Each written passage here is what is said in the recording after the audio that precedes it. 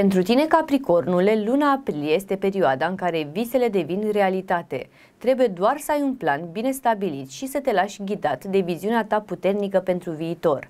Cu răbdare și determinare vei ajunge la succes. Pentru nativii din zodia Scorpion, luna aprilie vine cu oportunități de transformare și de regenerare.